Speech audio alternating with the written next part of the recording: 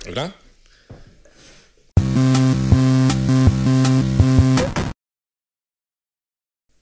Velkommen til Rocketcast. Rocketcast er on-demand tale, holdningsradio på internettet i form af en ugentlig podcast om teknologi og kultur. Du lytter lige nu til episode nummer 46, optaget den 25. i 3. Det er manden ved siden af mig, Nikolaj Rasmussen, Goddag, Esben. Goddag. Hardenberg. og mig, der laver Rocketcast. Vi er to helt almindelige mennesker. Nikolaj er lidt højere end gennemsnittet. Ja, nok lige omkring gennemsnittet. Mm. Og vi har en ualmindelig stor appetit på teknologi. Vi bruger en time cirka på at diskutere nogle af ugens teknologi-nyheder og vores egne oplevelser med teknologi. Og så giver vi nogle tips på interessante apps og websites, man bør besøge. Velkommen til. Sådan. Ja, okay. og tak. Og velkommen mm. til dem, der lytter. Mm. Du justerer lige din stol, fordi du Ja, er så ja. enormt høj. ja, præcis. Vi glæder os til at snakke i dag om uh, Android Wear, det nye software development kit Det fra spændende. Google. Det er helt fedt. Og uh, så glæder jeg mig til at fortælle jer om sandheden omkring speedreading. Oh, Ja, det glæder mig også Der til. kommer vi nok til at Vi skændes har lidt. talt om det før, for Mm. lang, lang tid. Men ikke om sandheden. Nej, ikke sandheder. Det her, det er Fra uh, nu af vil Rocketcast kun bestå af sandheder. ja, den ubehagelige sandhed om speedreading, som næsten ingen tør snakke om. Mm. Det får I her i Rocketcast, og ingen andre steder. Jo, på Lifehacker, hvor artiklen stammer fra.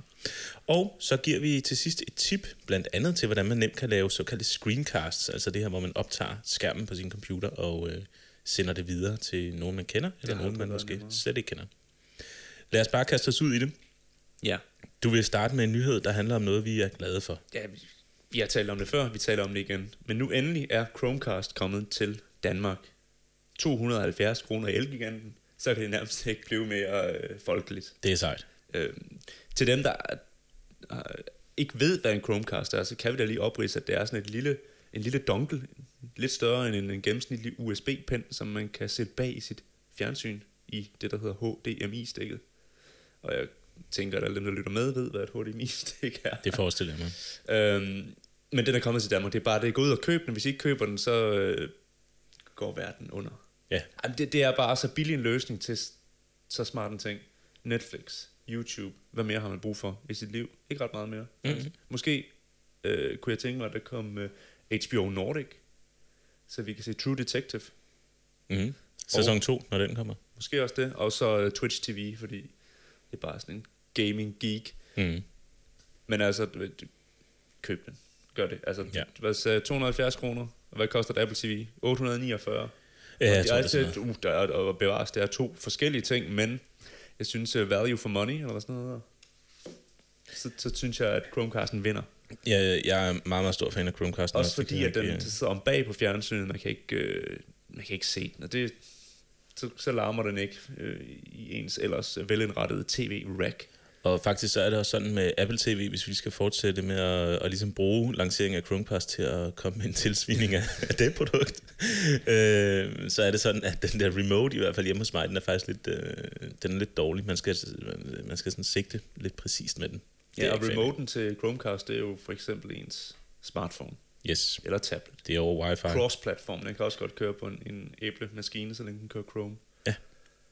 Jeg kan lige komme med en anbefaling i, øh, i den sammenhæng, hvis man, det er sådan, at man har en Android-telefon, øh, så kan man gå ind og søge på den app, der hedder Cast Store. Det er simpelthen sådan, et, øh, sådan en oversigt over de apps, der findes til Chromecast, og Google har åbnet rigtig meget op på det seneste. Så det betyder, at der kommer rigtig mange apps hele tiden, og nogle af dem er gode, og nogle af dem er dårlige, men det kan være lidt svært at få sådan et, øh, et overblik over, hvad, hvad der egentlig er. Ja. Øhm, så ja, den, øh, den linker vi lige til i shownoterne. Og øh, det, jeg, jeg, jeg har ikke fået sådan for alvor brugt den endnu, men, øh, men, men jeg kan se, at den opdaterer meget, og der er mange, øh, der er mange ting derinde, så der, man kan bruge den som sådan en lille, øh, en lille companion-app. Mm. Så øh, vi har allerede en jo, selvfølgelig, men øh, det kunne godt være, at vi skulle...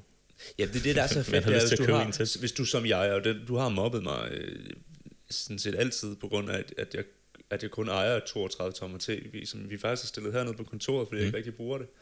Men Det, det, er, det er nok, fordi du kun det er 32 sådan sommer, et ikke? el-gammel, dog fuld HD, Bravia TV. Og det, det er sådan et, man kunne kalde det et dumt tv, for der er ikke rigtig noget smart funktionalitet i det tv. Men for 270 kroner, Bob, så er det smart tv. Ja, og den er rigtig smart. Ja. Og både på iOS og Android i øvrigt, ikke? Ja, og det, og det er jo fantastisk, fordi tv det er ikke noget, vi skifter ud lige så ofte som alle mulige andre ting. Mm.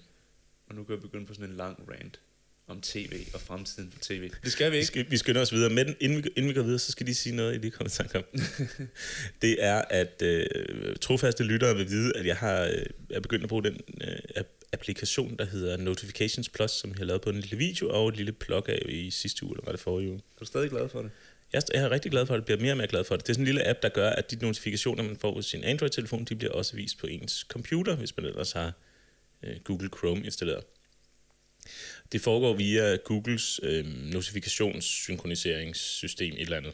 Mm-hmm. Øh, men jeg tænker nu, at øh, det kunne jo godt være, at man kunne lave sådan en lille notifikationsskærm, at man kunne lave et eller andet sjovt med det. I ved, så der, der findes de her dashboards, hvor man kan få sådan nogle oversigter over, hvordan det går på Facebook, og øh, hvor mange retweets man har fået og sådan noget. Det var godt, man kunne lave et eller andet sjovt. En sjov, øh, en sjov Chromecast-app, der ligesom viste notifikationer ved hjælp af det her system, og man kunne formatere notifikationerne på en eller anden sjov måde måske og sådan noget. Så det blev kastet over dit tv? Mm? Ja, der, Forestil ved, dig- der ved jeg nu ikke. Forestil dig det her, Nikolaj. Ja. Man har et, øh, en dashboard kørende, der hele tiden viser status på, hvor populær du er inde på Facebook og sådan noget der. Og så, ja, okay. og så hver gang der sker noget nyt, så kommer der lige sådan en notifikation ind, der bare, der bare kører gennem Androids notifikationssystem. Så kommer den lige ned og overtager hele skærmen, og så kommer der, der er måske en tegning af en eller anden sejrskammel, hvor at, øh, at du er nummer to, og jeg er nummer et, og så står der, hey, en ny follower til Rocketcast eller den anden. Men så sidder, jeg, sidder midt i et, jeg sidder midt i et afsnit af, af Sherlock. Jeg sidder, jeg er helt, jeg er Nej, helt nej, nej. væk over, hvor, hvor, hvor brainy han er, og vild, og jeg er helt opslugt, og, og, og jeg er lige ved at finde ud af, hvem det er, der har myrdet den, der har myrdet en, der har myrdet en anden. Og så popper der sådan en notifikation op. Glem det. Det, det, det er jo selvfølgelig, det er jo, Nikolaj, det er jo selvfølgelig på en dedikeret skærm. Det er jo din dashboard-skærm. Har, sig mig engang, har du ikke sådan en derhjemme? Dedikeret dashboard, ja. du mener, altså skærmen ved siden af min fjernsynsskærm. Præcis. Nej, det har jeg ikke. Nej. Det er third screen. Det var faktisk grunden til, at jeg købte en, øh, en Kindle i sin tid. Det var fordi, at jeg prøvede at bruge øh, iPad'en til at sidde og læse på, men så popper der alle mulige notifikationer op, og der sker alt muligt åndssvagt. Og det kan jeg selvfølgelig gå ind og slå fra og til hele tiden. Men så er det nemmere bare at tage en dedikeret Mm. e-reader, så jeg slipper for alt det der. Men nej, det, det, det, det er spændende, men nej tak. Nå, okay, men så beholder jeg den mig. Ja, gør det. Men øh, det her med, at det kan være lidt svært at fokusere, det bringer os faktisk øh, videre til vores næste nyhed. Øh, der er en artikel fra Lifehacker for et par uger siden, tror jeg så efterhånden det er. Men vi kalder det altså nyheder alligevel. Øh, og det er sandheden om speedreading. Mm. Øh, det er jo sådan, at, øh, at du har jo været stor fan af de her øh, speedreading apps, eller jeg ved ikke, Ja. kan sige fan, men vi har i hvert fald snakket om dem på, øh, på foranledning af, af dig tidligere. Ja. Øh, og, og det, som, øh, som man kan sige er, er humlen ved det, det er, at man kan nå at løbe en masse mere tekst igennem. Faktisk så er det sådan, at øh, man i snit, står der i Lifehack-artiklen, læser mellem 2 og 400 ord i minuttet. Det er sådan en, en, øh, en veltrænet øh, akademiker, tror jeg, der, der står. Oh la la. Ja. Øhm, Det er sådan en men dig. jeg, jeg læser meget, meget, meget, meget langsomt. Jeg tror knap, jeg rammer de 100, men altså, det, det, det kommer vi til senere. Øhm, men, men altså, en gennemsnitlig læser rammer de her 200-400 ord i timen. Mm-hmm. Og ved hjælp af speedreading-apps, der kan man komme helt op på omkring 1000-1700, står der. Så det er altså Ja. helt meget hurtigere, Det ikke? vil jeg godt tro. Mm. Og øh, i artiklen gennemgår nogle forskellige metoder til, hvordan man kan, man kan bruge det her speedreading. Dem kan man, vi linker til den, så man kan gå ind og læse. Altså, ja, Øh, fordi læse dem, jeg har igennem. prøvet, det er sådan noget, hvor der kommer et ord ad gangen, sådan, Ja, så flasher det sådan forbi.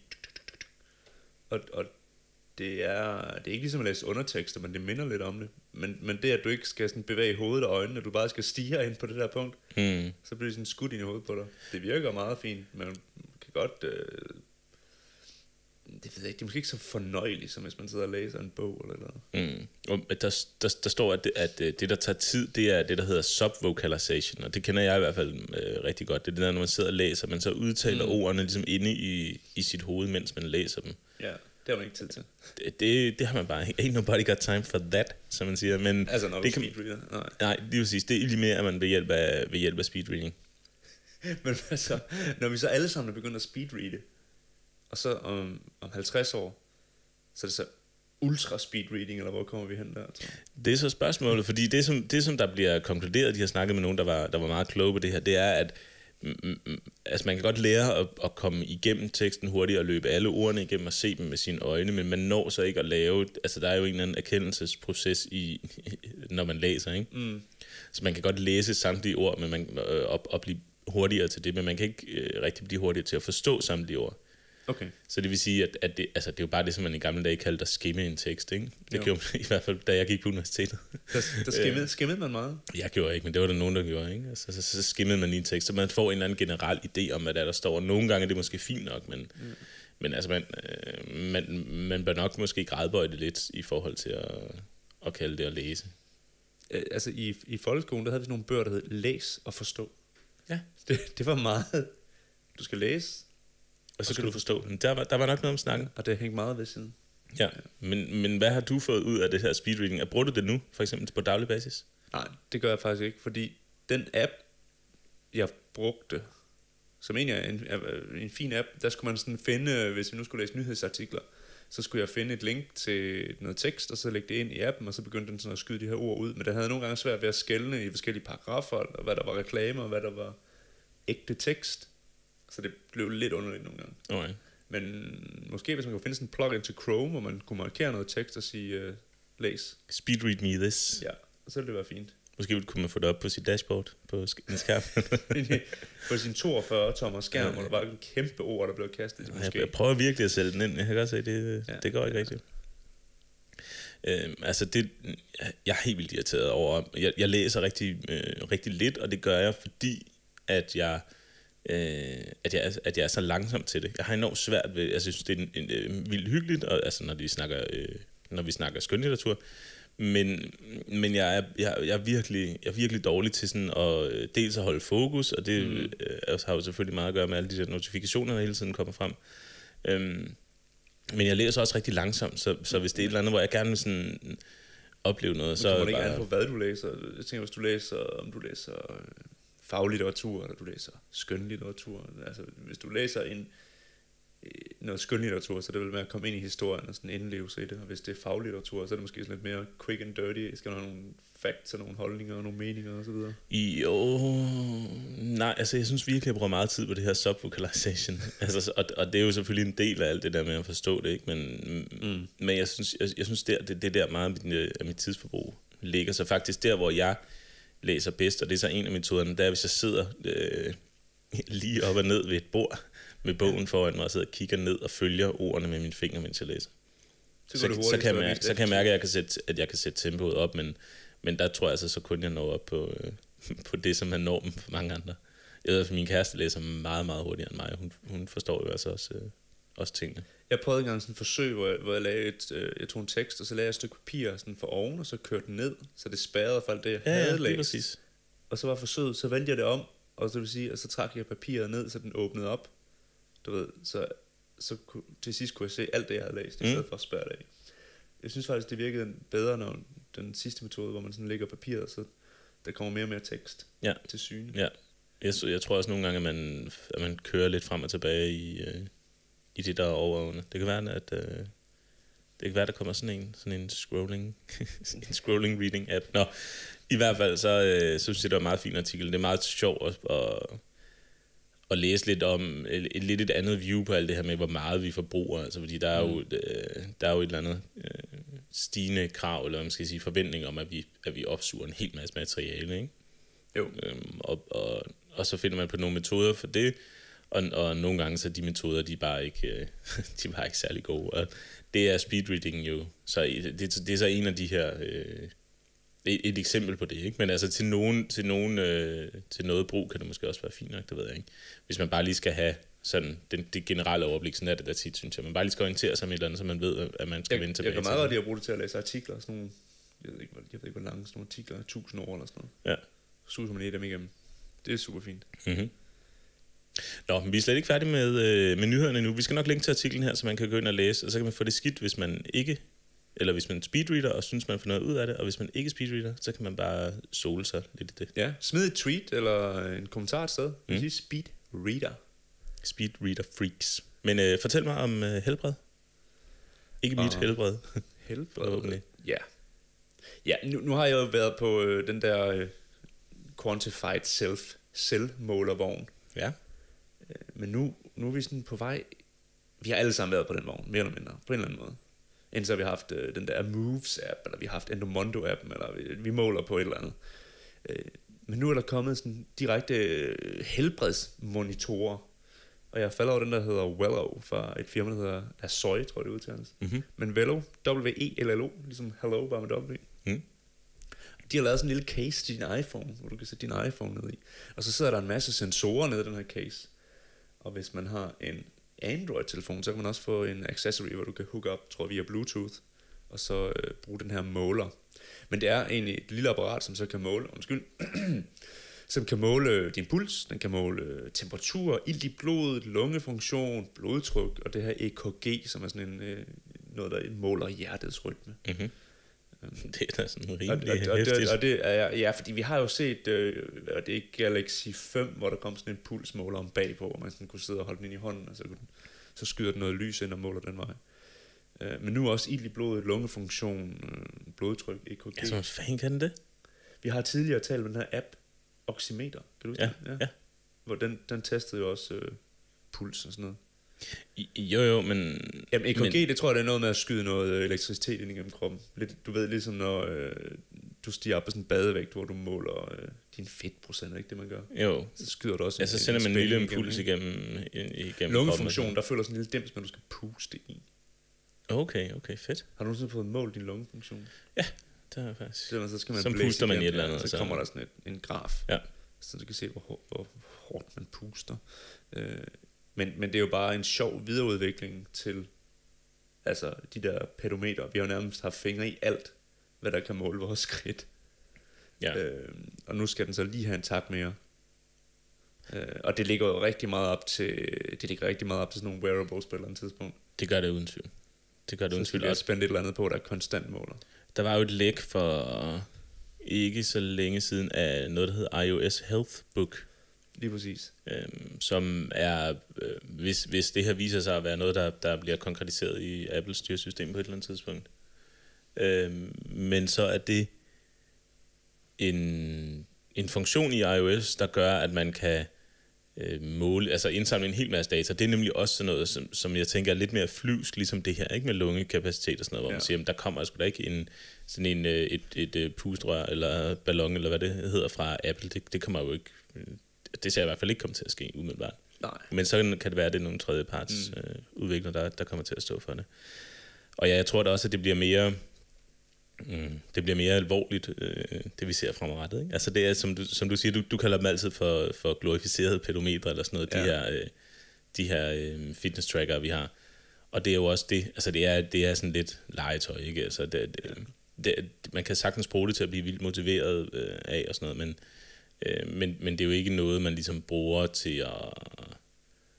Man, man, man, man, man bruger det ikke øh, i forhold til sådan at, at sådan for alvor sådan lægeligt, eller hvad man skal sige. men, selv og, så, lægeligt. og så alligevel, jeg glæder mig til, øh, til, til det er, at man skal lave sådan en øh, dedikeret blog, der hedder Falsk Positiv, hvor folk sådan flipper ud i alle mulige tråde over, at nu har deres øh, helbredsmonitor målt et eller andet, og de er dødssyge og sådan noget. Ja, ja, lige præcis. Ja.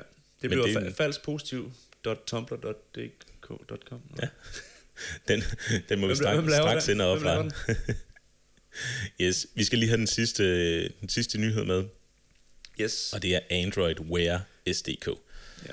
Det er jo også en, øh, en udvikling inden for det her wearables, men det er ikke en hvilken som helst udvikling. Øh, det er øh, faktisk, mens vi sendte sidste episode, så, så, så breakede det her. Ja. Og det er jo selvfølgelig Google, der, der, der ud- kommer med deres øh, development kit til Android for wearables. Mm-hmm. Og det ser jo nok fedt ud. Det er helt vildt så fedt. Det ser vildt sejt ud. Ja. Der, der er kommet en, en, øh, sådan en lancering af det, og i den, i, i den lille, lille reklamefilm, der er lavet der, der, er- der er der to uger med. Det, det ene er fra LG, og det andet er fra Motorola.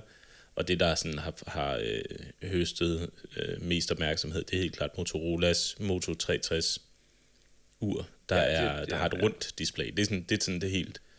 Øh, Det er meget sjovt, det folk helt er flippet helt ud Ja. rundt. Et ur, der er rundt. Men, men man er jo ikke vant til det. Runde ure. Og det er ret, ja. Runde Jo, skærme. runde skærme nok Ja. nærmere. Øhm, og og det, det ser også bare imponerende ud. Altså det, er virkelig, det, det, er, det er meget pænere. Det, det er stadig... Øh, ja, hvordan var det nu? Jeg hørte en i, i, øh, i en podcast sige, at øh, det, det at sige, at det var et, et fedt smartwatch, det svarer lidt til at sige, at man tog til Comic-Con, den her, øh, mm-hmm. den her øh, tegneseriekonference, øh, klædt ud som et, et, øh, en, en fed tegneseriekarakter, i stedet for en nørdet tegneseriekarakter. Altså, det, det svarer til at være, det, det, vi er stadig i nørd-territoriet, ikke? Øhm, og det er stadig ikke pænt i forhold til et af de rigtig pæne, almindelige mm. armbåndsure. Mm. Men det er meget, meget pænt i forhold til, hvad der ellers findes. Men det er jo heller ikke et ur.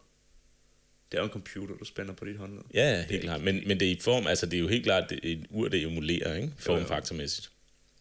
Nå, men det, men det her, øh, det her Android Wear, det er, det er så på vej ud, og der er allerede kommet et, øh, et developer preview, og, øh, og, og det ser enormt øh, det ser enormt fedt ud, og det er selvfølgelig det, det, det slår meget på Google Now, øh, som mm-hmm. er Googles øh, den her realtids øh, predictive øh, search eller hvad man skal kalde sådan noget predictive øh, app øh, informationsapp der, der ved alt det som Google ved om dig og ud fra det så sammensætter den sådan noget information som du øh, som du gerne vil, vil det, som den mener du gerne vil vide noget om men det er noget de udvikler helt vildt for tiden ja.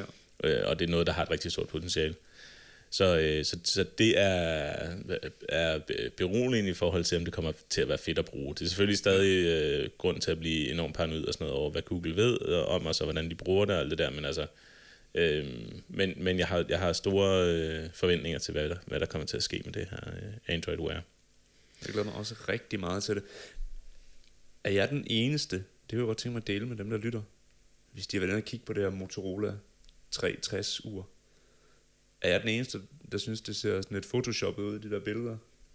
Den der skærm, det, det er godt nok skarp. Ja, det er, det er vist en, øh, en det visuel skarpe, effekt. Det skarpeste skærm, jeg nogensinde har set. Ja, det, det, er, det er der vist noget om, at det er noget, de har, det er noget, de har lagt på. Men altså, øh, der har været et, øh, et Google Hangout med dem også, hvor man så det.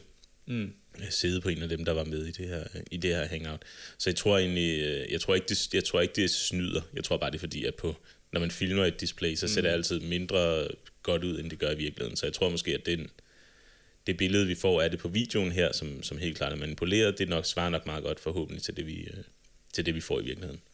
Så øh, det, det bliver enormt spændende at, at se, hvad, hvad der kommer til at ske med det her i resten af 2014, og selvfølgelig mm. også fremadrettet. Øhm, jeg glæder mig også til at se, når der kommer øh, nogle ting, der måske ikke har nogen skærme overhovedet men som stadig kommer til at køre Android. Altså man må gå ud fra, at, at, at det som, som Android Wear kan i forhold til Android øh, almindelig, øh, det, at, at, det er, øh, at, at det er optimeret selvfølgelig forhåbentlig til at, at spare en masse øh, batteritid, øh, eller batteritid, at, at spare på batteriet, og det måske er mm. optimeret til at bruge det her Google Now på forskellige måder, og så selvfølgelig også det her med, at man kan at man kan lave ting til runde skærme. Ikke? Men tænker du, at uh, Wear også kommer til at dække over Google Glass, for den er faldet sådan lidt i baggrunden lige pt? Ja, det tror jeg, det gør.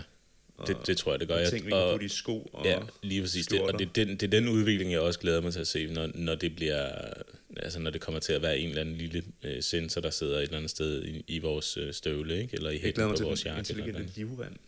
Mm, der spænder sig selv. Ja, så har den, du ved, lige nede på den der, hvad hedder den der belt buckle, hvad hedder sådan en... Det er bæltespænde bæltespænde, så har den, et, oh, så har den en dims dernede. Ja. Så kan den lige et eller andet. Og så når man har overspist, så, oh, så åbner den lige automatisk det. ja, for, eksempel. Ja. Det er intelligens. Ja, måske man skifter lige, og skal lige skifte nummer på Spotify, så oh, jeg slår lige på bæltet. Ja, altså man kan, også, man kan jo tale, man kan stemmeaktivere det, det ser man i hvert fald den der øh, øh, film der, og de bruger der er på et tidspunkt, hvor at, øh, at et, et af de her lækre mennesker her fortæller sit ur, at øh, garageporten skal åbne, og så åbner den og sådan noget. Så så den der type øh, af sådan noget automation, automation øh, automation. Automatisering. Automatisering. Ja, ja. Øh, det, det, det, det glæder mig også til at følge med, og det er sådan noget, man kan bruge al sin energi på, mm. ikke? Og prøve at få automatiseret et eller andet med, hvornår lyset skal tænde og slukke. Men altså, øh, jeg, jeg, jeg håber lidt, at det, at det sådan kommer får en mere fremtrædende plads i mainstream på grund af, på grund af den her udvikling. Så øh, det vender vi uden tvivl tilbage til. Cool. Mm-hmm. Lad os springe til tophistorierne. Ja. Har vi spillet computerspil? Det har vi måske. vi har begge to, for en gang skal vi have begge to været voldmarineret i, øh, i pixels, der bevæger sig. Ja. Ja, vi har spillet Luftrauser, og det er sådan, jeg har lyst til at sige det. Jeg ved, jeg mm. ved ikke, om man skal sige det. Jeg siger Luftrausers. Det er sådan min... Øh... Jeg tænker måske, at... Ja, ja Luftrauser kunne man også kalde det. Men også, det er den jyske version. øh, ja, det er bare skægspil, ikke? Jo, punktum. Nej. Det handler om... Øh, ja, hvad er historien egentlig? Fordi jeg, jeg gik bare mok i det. Og så, Og det ved jeg heller ikke. øh, men det er et af de her spil, som, som har meget simple controls, og det tager, det tager 10 sekunder at lære, men det tager øh, uendeligheder og mestre. Mm. Men er sådan en, en lille flyver, det er meget simpelt faktisk, der skal flyve rundt. Ja. I et helt brunt, orange color scheme. Ja, ja det er meget øh, lunken, det der color scheme. Aha. Øh, så skal man en lille flyver, der flyver rundt og skyder nogle andre fly og nogle både, og det er det. Og det lyder jo enormt kedeligt, når man skal genfortælle det. Men det er vildt sjovt. Ja, det, det, kan virkelig, det kan virkelig anbefales. Det koster vist omkring 60 kroner eller sådan noget. Man kan få det til PC og til PlayStation Vita, og Ja. det er der, jeg har det. Det fungerer Ja, sindssygt det godt på på Vita. Steam. Og du spiller det på Steam, ja, med en controller, ja. ikke? Nej, jeg spiller først bare spillet keyboard. Nej, har du spillet med, med tastatur? Ja, så er der ikke noget at sige til, at din high score ikke er så høj som Ja, Esben han er lidt... Øh, hedder det Hoven? Ja, lidt, øh, det hedder ja, Hoven. Lidt kæk, fordi at hans high score PT er højere end min. Min ligger på 13.500 og et eller andet. Hvad ligger din på? Omkring 20.000, lige over 20.000. Ja. Og vi tager gerne imod udfordringer, skulle jeg lige så sige, hvis der er nogen af jer derude, der får lyst til at spille det. Men ja, Det er fordi, det er meget det... Nemmere at spille på sådan en Vita. Ikke? jo. Det, Du skal spille PC, hardcore PC gaming. Det der er det Nej, men det, men det jeg synes er, er sindssygt altså det er sådan en helt arcade øh, følelse, ikke? Man har jo. et liv, øhm, og, og, øh, og, og så er det meget baseret på, på, øh, på øh, den måde, som tyngdekraften fungerer på i det her spil, ikke? Så det, det er ret svært at styre flyet, men det giver mm-hmm. mening. Ja. Øhm, og, og det gør, at det har sådan en, en tilpas balance af noget, der er, der er frustrerende, fordi det er enormt svært, ikke? Ja. at det er noget, der er frustrerende at spille, men samtidig er det noget, der er vildt givende. Øhm, og det, det, det, det er helt klart en af de der tendenser, som vi har snakket om øh, tidligere også her i podcasten, og det er nogle af de spil, som vi begge to, øh, som begge to rigtig godt kan lide. Mm. Men det, der er fedt ved det her, det er, at det kun tager... Altså, det, det er så nemt at samle op, og så lige spille i fem minutter, fordi man dør som regel. Altså, man dør, og så starter man igen med det samme. Så det er sådan lidt, man er, det, det er beregnet på, at man ja. tager en masse, øh, en, en masse spil i træk af det. Ikke? Men, men øh, hvis man står og venter på bussen, så, øh, så kan det sagtens lade sig gøre lige at... Så, så tager jeg lige min PC med ned til bussen. Nå ja, hvis man... Ja, okay. ja. Kan man selvfølgelig ikke. Men ja, det, er- det er det der med, at det, det er nogle, nogle, nogle relativt korte spil, man har, og så, så klør det altid lige fingrene lige for at nappe et spil mere. Ja, jeg vil lige have et til. Det er noget forfærdeligt øh, skidt. Um, Det har et rigtig godt uh, hook på den måde. Jeg kunne vildt godt tænke mig, at man kunne øh, være two-player, som kunne spille imod hinanden. Ja, det kunne være ret sjovt. Jeg har bare svært ved at se, hvordan det... Altså, det er så, det er så, øh, det er så specifikt, det her spil. Ikke? Det er så... Mm. Alt, alt handler om, om balance i det. Ikke? Og jeg synes, at, at øh, indtil videre i hvert fald, at det har været rigtig, rigtig godt øh, balanceret. Mm-hmm. Øhm, man kan unlocke forskellige nye våben og, og sådan noget, når man, når man ind- indløser forskellige missioner. Det er sådan noget achievement noget. Det, det er virkelig bare også bare en ting, som alle computerspil har efterhånden. Ikke? Ja. Men, øh, men, det, men, men jeg synes, at det, altså det, det er så, så perfekt tunet, det her spil, at, øh, at det er en fornøjelse at spille. Det, det er virkelig bare, det, det er virkelig bare skægt. Ikke? Det har rigtig høj af det, jeg kalder sjovhed per sekund. Det, man, er, man er bare... SPS, ja. Man er, man er bare hooked, ikke? Jo. Øhm, så det er en, en, en kæmpe anbefaling herfra. Jamen, jeg, jeg, jeg glæder mig til at se, hvad det, ja, for, hvad det bliver til, fordi vi har spillet uh, Nethawk, yes. Yes. som også er sådan et pixeleret indie-spil. Ja. Men det er bare ikke sjovt, medmindre man er to. Nej, lige præcis. Det er nemlig, det er nemlig kun sjovt, når man er to, øh, og, og jo lavet til at være sådan et dyste, dyste spil, ikke? Jo. Øhm, men øh, det her, det er øh, Luftrousers her, det er lavet af nogen, der hedder Flambera, et hol- hollandsk spiludvikler øh, firma. Det er vist bare to gutter, tror jeg. Og de øh, har jeg tid... troede, det var Devolver, der har lavet det. Devolver er udgiveren, Ah, Øhm, og, og Devolver har også udgivet noget, der hedder Hotline Miami og nogle Mm, andre. De, de udgiver ja. så nogle indie-spil, der har sjæl i stedet for... Øh, ja. Så de er en meget atypisk spiludgiver. Øhm, hvad hedder det? Flambeer. Flambert. Ja. Og, øh, og de har lavet noget, der hedder Super Crate Box også, som jeg også gerne vil anbefale. Det tror jeg, at man, måske man kan spille gratis ind på nettet. Nå, det har jeg ikke prøvet. Men jeg har prøvet det der Ridic- Ridiculous Fishing, som de har lavet. Ja. Det er også ret sjovt. Ja. Det var noget med, der var en kæmpe øh, di- diskussion omkring lige præcis Ridiculous Fishing. Det er et iOS-spil, ikke? Jo, vi har sikkert talt om det for lang tid siden. Ja. Jeg var ret meget op at køre over det på et tidspunkt. Ja, men, og der har været nogle kloner og sådan noget øh, af det, som, ja. Ja. der har været en hel masse palaver omkring det. Nå, men i hvert fald, øh, i hvert fald det her Flambera her, de, øh, de laver nogle ret skægge spil, så, så Mm. hvis man er til den her type spil, så kan det godt betale sig øh, at tjekke dem ud. Yes, yes. Lad os springe videre, men vi bliver jo lidt i øh, computerspillets verden, ikke? Sådan øh, halvt i hvert fald. Jo. Og nu er det også et kulturprogram, det her, fordi teknologi er kultur. Teknologi er kultur. Ja. Jeg, har- jeg har set en film, øh, men ikke bare en film. Det er en film, som jeg har fået gratis via Steam. Det er Valve, der har lavet den. Den hedder Free to Play. Og den handler om professionelle computerspillere. Mm-hmm. Det er en film om, de følger en, en, en to, tre, fire hold til en Dota-turnering. Dota, som er, er det her, det er egentlig mest et online computerspil for de fleste. Øh, det hedder en MOBA. Det er jo sådan en, en, form for øh, taktisk spil, Mhm. man sidder og spiller Det i. betyder jo massively Online Battle, Battle Arena, Arena, ikke? ja, det er sådan, ja. øh, men, men man kan jo sammenligne det lidt med en, øh, en blanding af skak og fodbold. Man har de her to hold, der skal ligesom ødelægge den, den andens mål eller tårn. Øh, og så, og så, så, men Torn? Et tårn, de har sådan et tårn, tårn, tårn, Nå, tårn, ja. tårn, tårn, tårn, Selvfølgelig, tårn. ja. Ligesom i fodbold. Ja. Mit dansk er ikke så godt efter. øhm, men det er, en, øh, det er en film, der ligesom følger de her hold, og de følger dem i en turnering, hvor de spiller om en million dollars. Der er altså penge i det der e-sport der. Ja, og så, så følger de forskellige hold fra Kina, og nogle fra Ukraine, og nogle fra Europa. Europa det er sådan blevet lidt et land, i hvert fald den der turnering, Ja. hvor folk de sådan er, er blevet blandet lidt. Øhm, Men det giver et meget godt indblik i den her verden, og hvis man ikke lige har spillet så meget Dota, eller har så meget erfaring med, med MOBA-spil, så er det et meget fint sted at begynde, når den er, det er en ganske gratis film, men det er et meget, det giver et, et billede af en, af en ret kynisk verden, de, for de her folk skal jo træne, altså de træner jo øh, 10 timer om dagen minimum. Det er helt enormt svært at blive god, Nogen- ja, god no- til Dota, ikke? Er det Jo, ikke en af de ting, bor der... endda i det, det, der hedder et gamer house, Ja. hvor de så har et hus, hvor de alle sammen bor sammen og spiller computerspil hele dagen, for at træne sig op til den her turnering, hvor de kan vinde en million.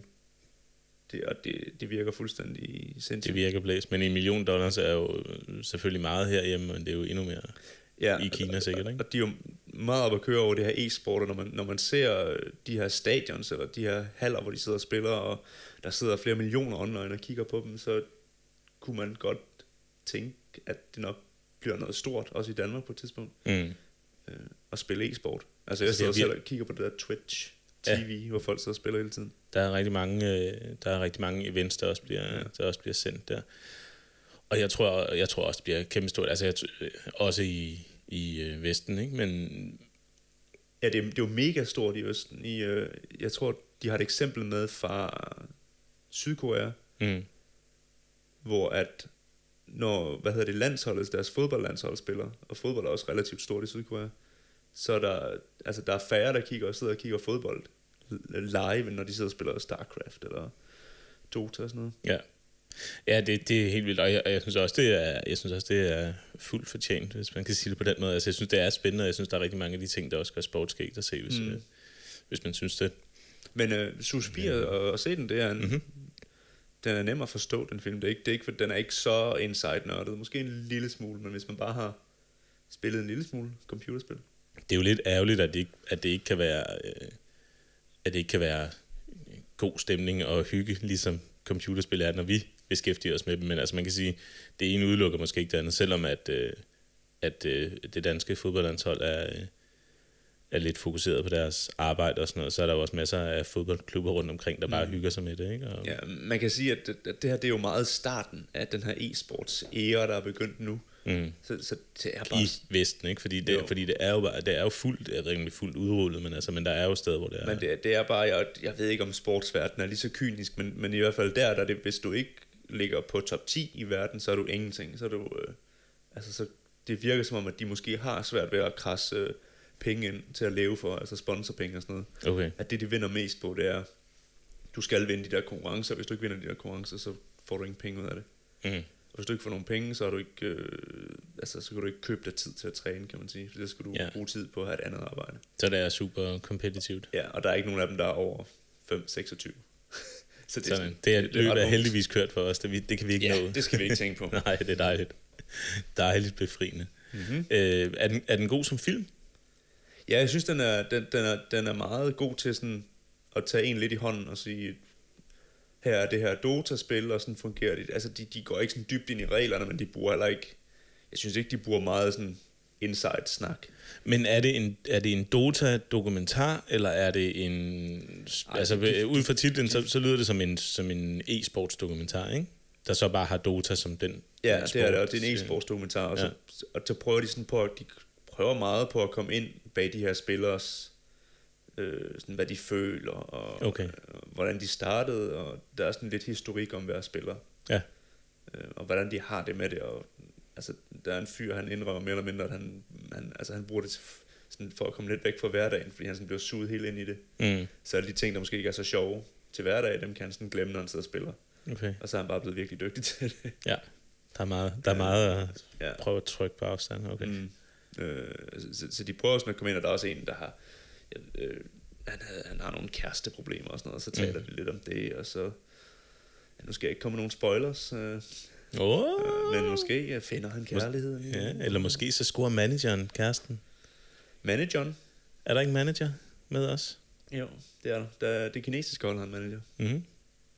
Alright, alright. Free to play. På Mhm. mm-hmm. Steam. Det er jo selvfølgelig også en meget smart, øh, hvad hedder det, måde. Man, kan- man kan måske også se den på YouTube eller noget.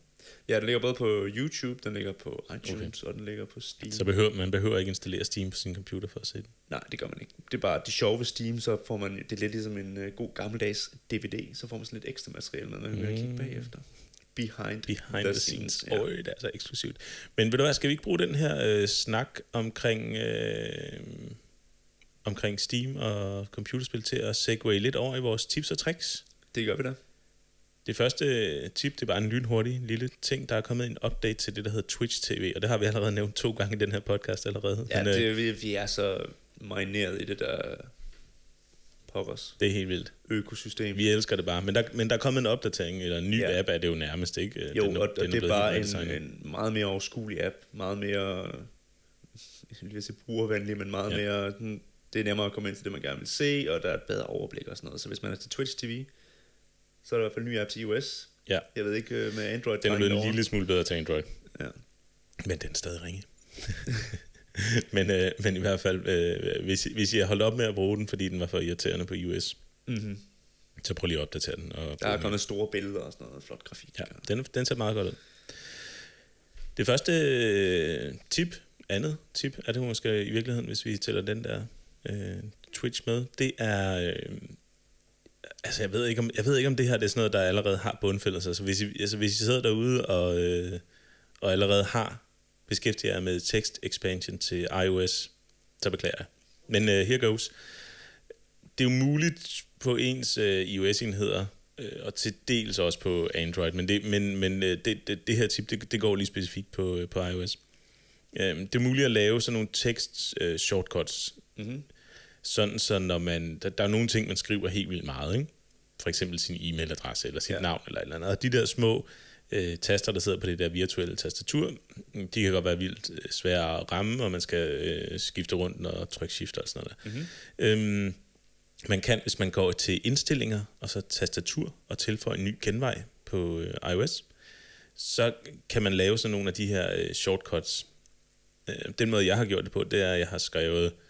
Øh, altså, man, man laver et eller andet, som der så bliver forlænget. Ikke? Så mm-hmm. det vil sige, hvis jeg skriver... Øh, hvis jeg skriver tre bogstaver, hvis jeg skriver ADR, Mm-hmm. så, så, så laver den det automatisk om til min adresse.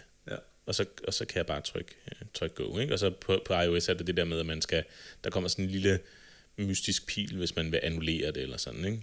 Ja. Øhm, men men hvis, man bare, hvis man bare bruger sin, sin shortcut og så går videre, så, så forlænger den automatisk det der lille, den der lille kode der til, øh, til, til, til den fulde tekststreng. Og det, øh, det vil jeg gerne være varm fortæller for. Jeg bruger det selv både på, øh, på min øh, Mac-computer, hvor jeg bruger noget, der hedder Text Expander. Øhm, men men, men det, er gratis, det er gratis på, på iOS, og det, det fungerer ret okay. Og det er ikke særlig, særlig svært, og man bliver sådan lidt... Det er en af de her ting, der man godt blive sådan lidt hooked, og så, ah, okay, det her, at, gør, det, at, gør det så værdigt til en, Ja. til en shortcut. Så, jeg har så gjort det, at jeg gør det, hvis man skriver komma, og så noget foran, Mm-hmm. øh, eller, eller sådan, så jeg skal skrive komma ADR i, i samme, fordi man plejer til at lave mellemrum efter et komma, så har jeg bare vendt mig til, at hvis jeg skriver komma, og så, og så min, min øh, den der streng tekst øh, streng, der skal, Ja, ja, ja. der skal udvides. Så kommer den. Så øhm, indstillinger, tastatur og tilføj en ny genvej. Vi lægger et link til en, øh, en lifehacker-artikel fra 2011, øh, hvis man vil læse lidt mere om det. Men- Og, og, og de øh, informationer, der ligger der, de, de gælder stadig, så vidt jeg lige kunne, kunne se i hvert fald. Ja. Mm? Og nu, Nu sker det. endnu et tip. Kunne du mærke, hvordan spændingen er, som blev bygget op? Du bygger op, ja. Ja, det er fordi, at øh, nogle gange, så skal man forklare et eller andet på sin computer Mm. til en, der ikke er der. Og så ville det være super fedt, hvis man lige kunne sende en video af det, fordi så, så, i stedet for at man skal sidde og sige, at du skal klikke øh, op i hjørnet og så ned i fil, og så, så kan man ikke selv huske det og sådan noget, så, så er det nemmere at vise det yes. og sende en video. Og det er blevet meget nemmere nu. Vi har fået fingre i noget, der hedder Screenmailer.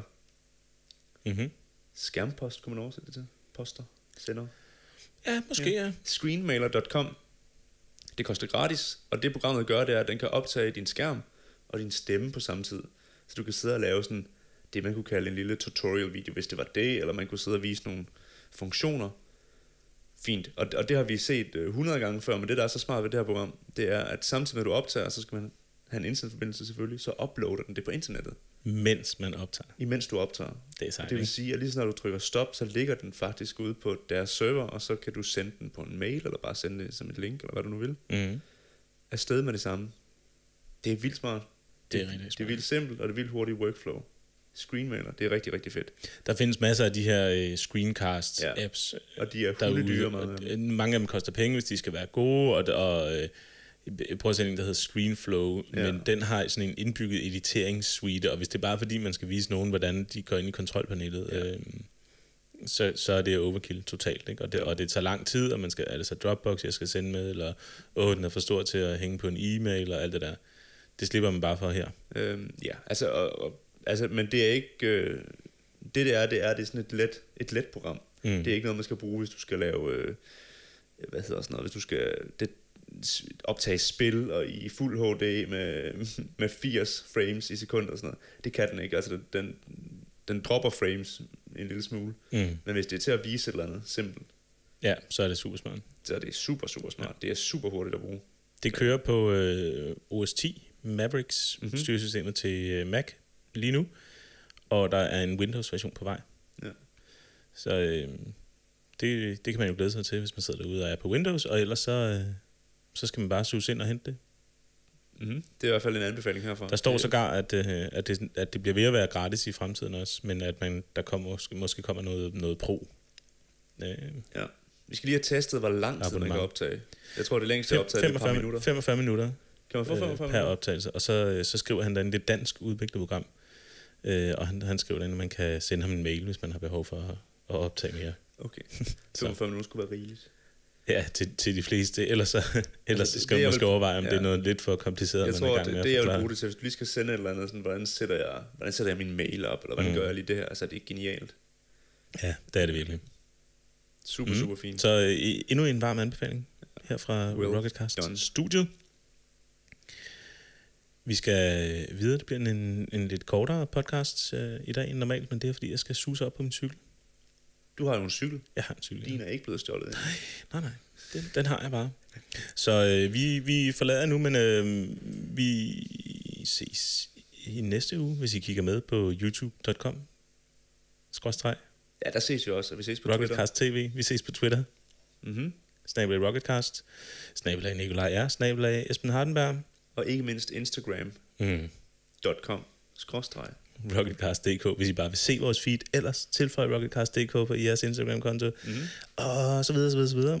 Skriv til os. Mm. Vi elsker at tale med. Ja, vi vil rigtig gerne, og også hvis, hvis der er et eller andet, øh, som I mener, at vi er kompetente nok til at, at kunne svare på, hvis der er et eller andet tekstspørgsmål, I gerne vil have undersøgt derude, eller et eller andet, så, øh, så prøv endelig bare at skyde det afsted, fordi jeg elsker sådan noget der. Øhm, og I, I er sikkert ikke øh, de eneste, der sidder og ærger jer over et eller andet. Så hvis der er, I sidder øh, og har en eller anden udfordring, som I godt kunne tænke jer, der blev taget hånd om, prøv at sende den afsted. Så siger vi noget om den, og måske er det noget brugbart.